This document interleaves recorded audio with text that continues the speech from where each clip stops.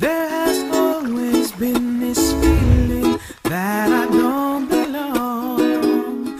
The comforts of this world is blinding me to the rest that I deserve. But even in my blindness, my spirit reaches out. There has to be much more to life. Here on the east side of Oahu, about a third of a mile off the shores of Kualoa Beach, we found a very famous island called Mokolii most commonly known as Chinaman's Hat. I've lived in Hawaii all my life, but I've never taken the time to explore this tiny island, so I'm stoked to be able to do it today.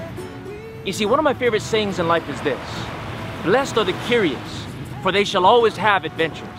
And blessed are the adventurous, for they shall always have great pictures to show and awesome stories to tell. You see, my friends, this life is full of awesome discoveries and new adventures every single day. But in order to find them, we gotta be willing to get off the couch, get out of the house, and start living our lives in the real world instead of the artificial world of Hollywood movies and social media. One person said it like this You can't discover new oceans unless you're willing to lose sight of the shore. And that, my friends, is the truth. Those who choose to spend their lives on the shores of complacency and comfort often miss out on the oceans of adventure and the islands of experience. So it's either you launch out or you miss out. And for me, I don't want to miss out on anything. So today we're going to explore more as we launch out to see what's happening on Chinaman's Hat.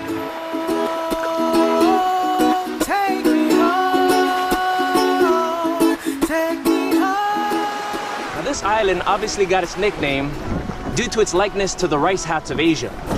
Now these Asian rice hats are not the most fashionable, but they're definitely practical. And in my opinion, practical is more important than fashionable, especially on a hot Hawaiian day like today.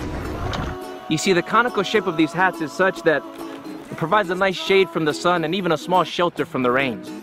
In the rice fields of Asia, it protects the farmers from getting toasted from the powerful rays of the sun. But these hats are not only helpful in Asia, I'm finding it very useful on a hot summer day like today.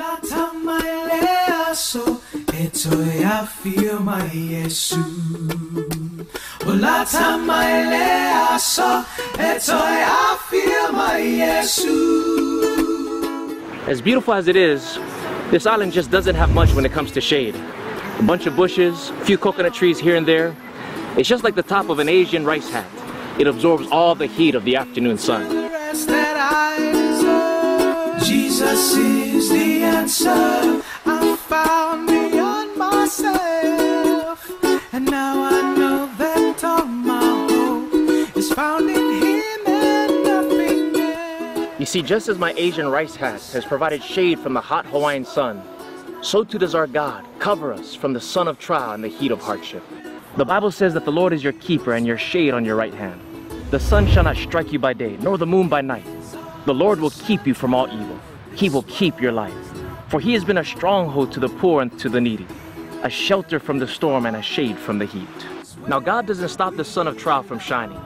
He didn't promise that life would always be cool and refreshing and easy. But He did promise to preserve us in pain, to cover us in conflict, and to shield us in sorrow. He has pledged to us His holy word that when things begin to heat up in our lives, that He is our shade by day, our defense by night, and a shelter in the time of storm. And as long as we remain under His covering, we will be able to rise above the heat of this world and stand at the top of the mountain of victory. We will then trade our Chinaman's hats for a royal diadem, a crown of everlasting life. And then we will rise from this earthly paradise to the sweet paradise of God.